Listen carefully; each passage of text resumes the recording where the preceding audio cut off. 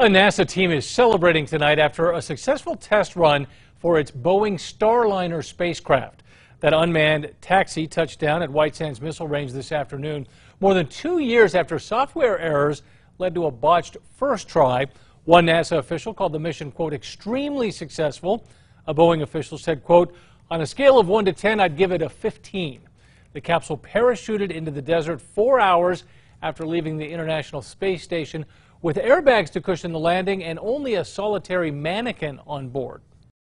It will then be slowed by parachutes to a speed you may experience, for example, while going down an elevator inside a skyscraper. If you can think of that feeling, um, that is what our astronauts would be feeling inside. Based on the results, astronauts are expected to climb aboard for the Starliner's next trip to the space station, reducing NASA's reliance on Russia for rides back and forth.